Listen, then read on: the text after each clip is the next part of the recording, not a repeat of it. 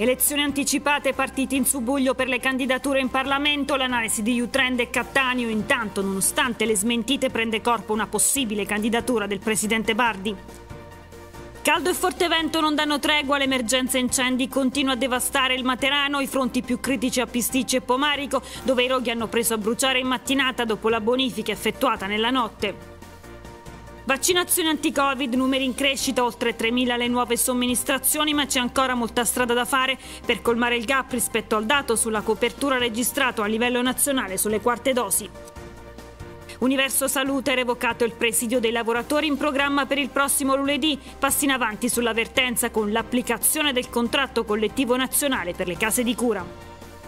Il calcio di Serie C si chiude oggi la prima settimana di ritiro del Potenza al rifreddo. Nel pomeriggio in programma l'amichevole in diretta esclusiva sulla nuova TV.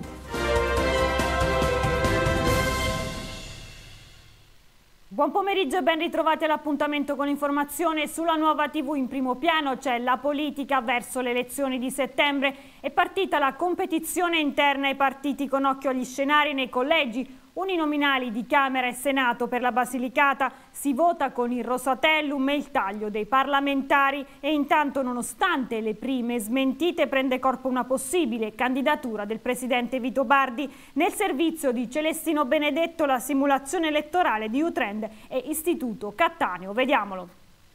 Dopo che la maggioranza di unità nazionale si è dissolta, le varie forze politiche che hanno davanti a loro una campagna elettorale brevissima stanno facendo i conti con gli scenari possibili.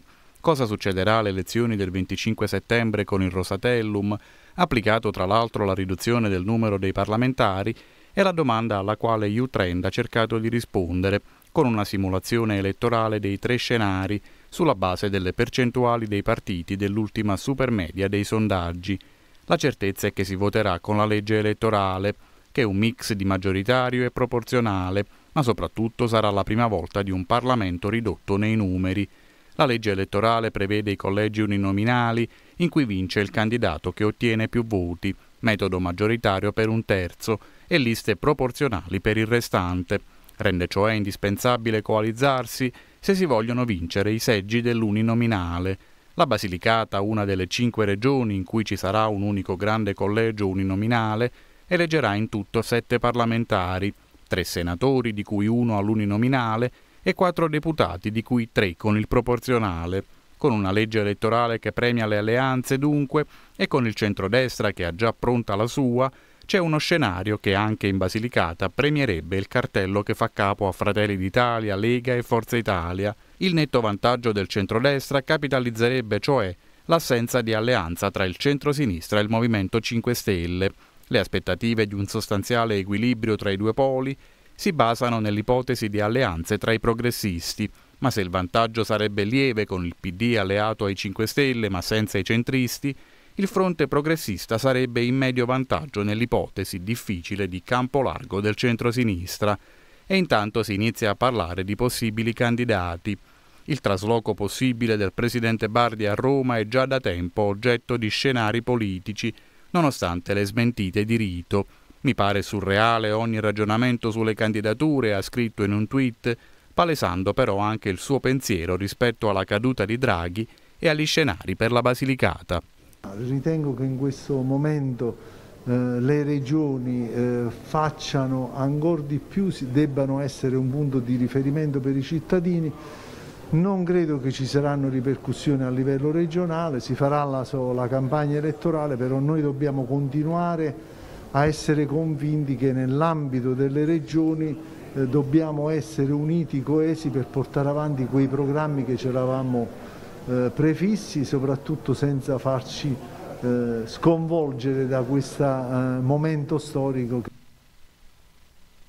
Voltiamo pagina, non si arresta l'emergenza incendi in Basilicata, le situazioni più critiche a Pomarico e Pisticci dove sono in corso lanci aerei da parte di Canadair. Brucia da 36 ore la collina di Pisticci, qui le fiamme si sono ridestate dopo la bonifica della notte precedente. Il fronte adesso è sulla zona dell'ex mattatoio, due le squadre intervenute per evitare che l'incendio arrivato fin sotto la Basentana possa oltrepassare il canale e arrivare al centro abitato. In corso le indagini delle forze dell'ordine dell'ordine per risalire alle cause del rogo, si teme la matrice colposa. A Pomarico sono andati in fumo 20 ettari di patrimonio boschivo in località San Lorenzo, il rogo è divampato ieri pomeriggio, sedato nella notte, ha ripreso a bruciare per colpa delle elevate temperature di oggi e del vento nella nostra regione dal mese scorso sono stati 40 gli incendi boschivi più importanti, 450 invece gli interventi di spegnimento complessivi. E cambiamo argomento e passiamo alle vaccinazioni anti-Covid, numeri in crescita nell'ultima settimana, effetto dell'esplosione dei contagi delle scorse settimane e così molti hanno deciso di recarsi agli hub, oltre 3.000 le nuove somministrazioni, ma c'è ancora molta strada da fare per colmare il gap rispetto al dato sulla copertura vaccinale registrato a livello nazionale sulle quarte dosi. Isabella D'Andrea. L'esplosione dei contagi delle settimane precedenti ha fatto da detonatore e così molti hanno deciso di completare il ciclo primario o per chi lo avesse già chiuso di fare anche il secondo booster. Come riportato dal report del sabato della task force regionale, sono 3.295 le vaccinazioni effettuate nella settimana che va dal 16 al 22 luglio scorsi, con 1.000 inoculazioni in più rispetto alla settimana precedente, quando il totale si è fermato a 2.172. Cresce anche il numero delle quarte dosi, passato dalle 9.761 dei sette giorni precedenti agli attuali 12.609, con un incremento di 2.848 nuove inoculazioni, un passo in avanti significativo. I lucani attualmente coperti con quarta dose relativamente alla popolazione di riferimento sono il 2,3%, il 65% ha ricevuto la terza dose, il 79% la seconda e l'84% solo la prima. Numeri in crescita, ma che non bastano a colmare lo scarto rispetto alla copertura vaccinale ottenuta a livello nazionale e la conferma è arrivata dal monitoraggio Gimbe del giovedì. Il tasso di copertura vaccinale con quarta dose relativo alle persone immunocompromesse è del 19,8%, contro la media italiana al 58,4%.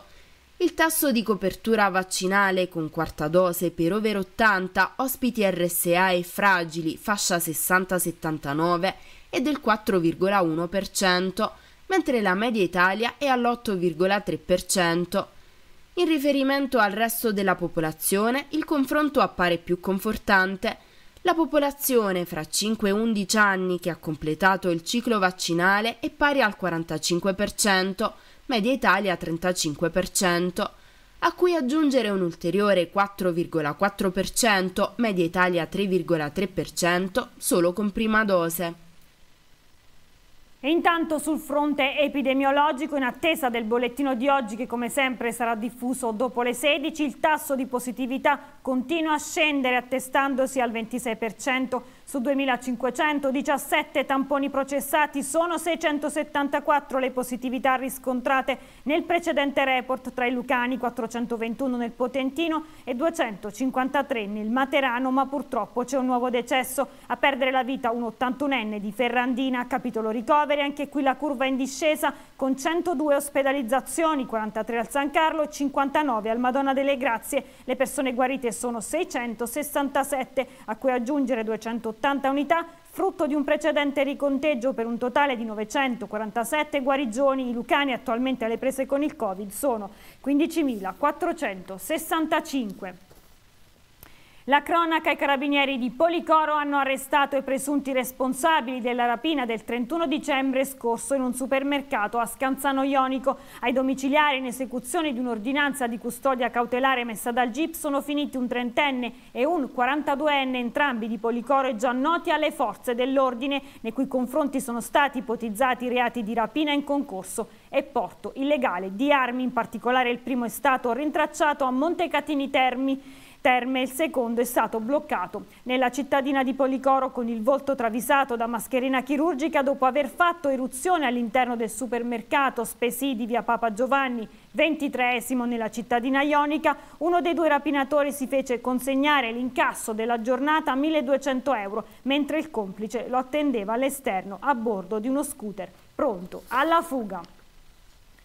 Sassi di Matera sempre più spopolati. Nel 2013 i residenti erano 1624, ora sono solo 1285, persi ben 339 abitanti. La gran parte sono giovani. Vito Sacco meno abitanti, più vecchi ed economicamente più deboli. I rioni sassi continuano a perdere popolazione e sempre più giovani vanno via. I dati parlano chiaro e sono allarmanti. Nel 2013 i residenti erano 1624, ora sono solo 1285 una perdita secca di 339 abitanti, con un andamento negativo che sta continuando nel 2022, anno ancora in corso, i cui esiti anagrafici completi saranno disponibili all'inizio del 2023. Nel 2013 nei rioni Sassi risiedevano 323 persone tra 0 e 19 anni, ma nel 2021 questa fascia d'età è scesa a quota 195. È stato inoltre calcolato che l'indice di vecchiaia nel frattempo è aumentato. Di pari passo, medesimo andamento ha fatto registrare l'indice di dipendenza, ovvero la percentuale di chi non lavora. Dati che evocano antichi fantasmi, ma il decremento demografico attuale non è meno grave per la ragione ragione che l'intera comunità, con la legge speciale dello Stato numero 771, approvata nel 1986 per il recupero e la rivitalizzazione dei sassi, ha scommesso soprattutto sulle proprie forze. Ha puntato le migliori carte su un patrimonio unico tutelato dall'UNESCO, la cui condivisione incarna in una realtà priva di ferrovie degne di questo nome la vera grande locomotiva della città. Per Pasquale Doria di Matera Civica bisognerebbe evitare con tutte le forze che questo motore non finisca per deragliare. Occorrono interventi mirati, ma lo staff di tecnici comunali è ridotto ai minimi termini. È il caso dell'ufficio Sassi. Negli anni è lentamente precipitato da 17 a 3 unità, con l'aggravante, prosegue Doria, che da ottobre si ridurrà a due soli geometri impegnati su questo immenso fronte, segnato da una millenaria eredità da non disperdere e preservare. Ma senza soldati e l'amara conclusione di Doria non si scorge all'orizzonte quale civile civile battaglia possa essere mai affrontata.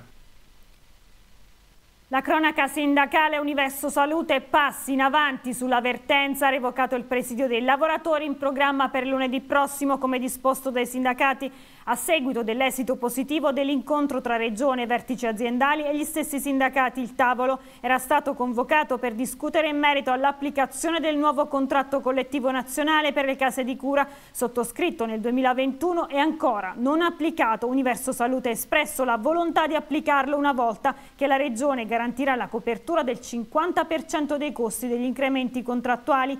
Viale Verrastro a sua volta si è impegnata a garantire tale copertura autorizzando l'azienda ad incrementare il budget. Prendiamo atto, evidenziano i sindacati che Universo Salute finalmente riconosce ai suoi dipendenti il grande impegno messo in campo soprattutto nella gestione dell'emergenza Covid. I segretari regionali inoltre hanno chiesto di accelerare in merito alla classificazione delle strutture sanitarie e all'adeguamento delle tariffe ferme al 2009.